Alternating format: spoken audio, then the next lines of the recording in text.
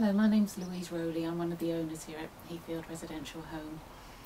We pride ourselves on regarding Heathfield as, as being a home for the ladies who are here because it is their home. It's not just an institution, it's a home. And um, part of the um, feeling that we like to give for that is to provide um, some sort of activity. So most days of the week we've got some kind of social activity that our ladies can join in with. That can range from, we have entertainers in and we do craft work. Then we also have regular games of cards and, and bingo and um, quizzes and crosswords.